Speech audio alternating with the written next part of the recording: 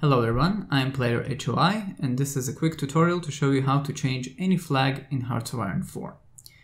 So for this tutorial we're going to be changing the German flag. I know that a lot of people are eager to change the German flag for some reason. our first step to change the flag is to download your own version of the flag. I have already done this, so this is going to be our German flag for this example. Now make sure that the flag that you download is uh, not very small. It's okay if it's bigger. Okay, don't worry, we're going to be resizing this flag anyway. Now, the first thing we need to do is to create a mod for the game, which will be using our new flag. How do we do that? We need to open Hearts of Iron 4. In the launcher, we need to go to mods click on mod tools, then click on create mod. The first thing we need to do is to give our mod a name, so we'll call it German flag mode and assign a directory to that mod. So we'll call it just German flag. That's going to be the directory. Don't worry about supported version, you don't need to change this. You do need to fill some mod tags, so we'll just fill one of these We'll call it graphics. And then click on create mod. Now this is the path to our mod and we'll be using this path later on. Once we're done, you can just click on close and we'll close the launcher at this point as well. Now, the next thing we need to do is to actually extract the original flags so that we can actually change them. To do this, we need to go to the folder where they are actually kept by the game. So the game is usually uh, stored in C, program files, Steam, Steam apps, common, of Iron 4. And now we need the GFX folder and the flags folder. Now, the path to our flags is very important and our mod needs to follow this path as well. So we will create a new folder for our mod. Okay, this is just a temporary one. In here, you need to create the GFX folder and the flags folder as well. Now notice that the flags folder actually has two more folders, small and medium. That is because flags in the game are actually divided into three samples, a large one, a medium one, and a small one.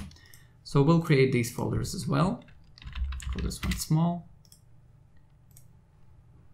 I'm calling this one medium. Great. Now we just need to place these flags in our own folder. Okay, first of all, let's find the German flag here. Okay, don't use search since it will actually search in all of these folders and we won't know which one to put in. So let's go down and find our German flag. Okay, here's Germany, and we'll be taking German fascism. That is the flag we'll be editing. So I'll put it here. Now we'll need to find this in the small folder. Here we can use search since, since it will only search in this folder. So I'll type GER, Germany fascism. We'll copy this into this folder. Go back to flags, go back to flags, now we need the medium flag. I'll type Germany again. And copy the flag over here. All right. So we won't be needing this folder for now. Now we need to uh, actually change these flags to our new flag. So we'll be using GIMP to actually edit the graphic files. Uh, there's a link to GIMP in the description if you don't have it. If you have any other graphic software that you use and that you know how to, how to do the things that we're going to do, that's fine, you can use that. So I'll open up GIMP. Now to make our work more simple, make sure to click on Windows and make sure that single window mode is actually turned on. It's going to make our work much more simple. So I'll just drag our big flag in here okay?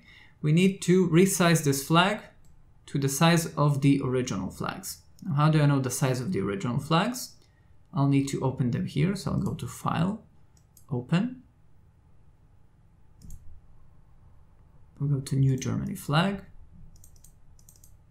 And we'll start with the large version first.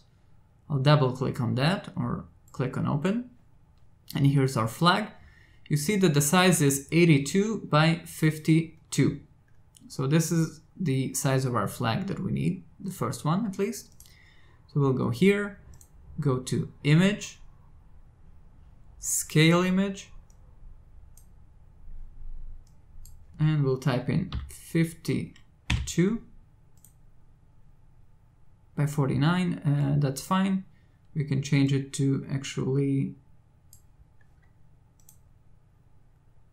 82 by 52 okay so we'll make it a little bit larger to make sure that actually fits.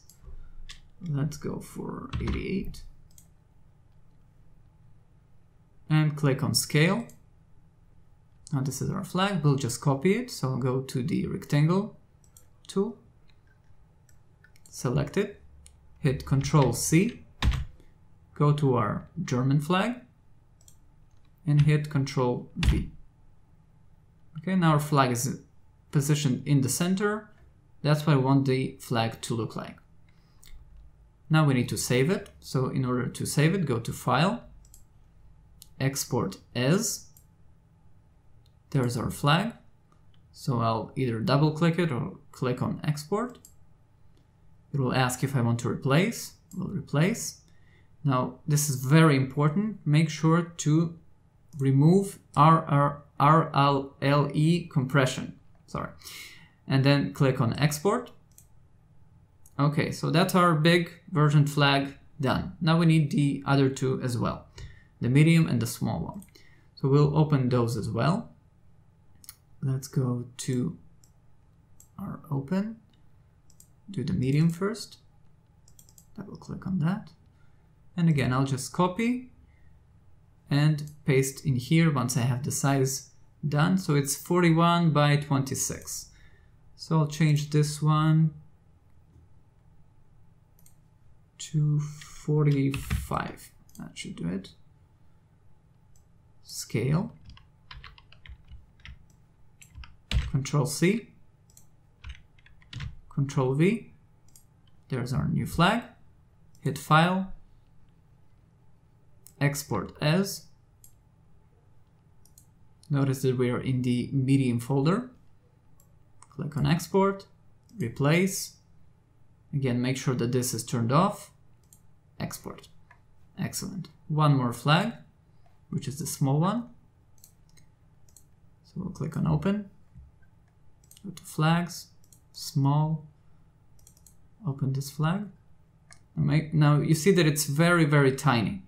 Don't worry about that. Uh, that's just how the game uses it. Okay, it's okay if you don't really see much here. We see that it's 10 by 7. So we'll resize our original image.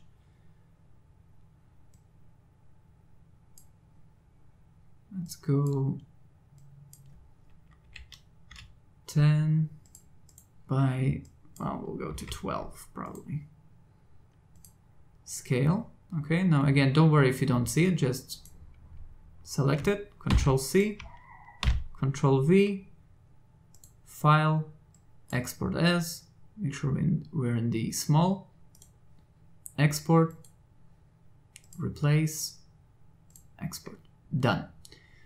Okay, now we have our flags and we just need to copy them over to our mod to be used. Okay, so to do that, I'll take the GFX folder, copy that, go to my documents where the mod folder is.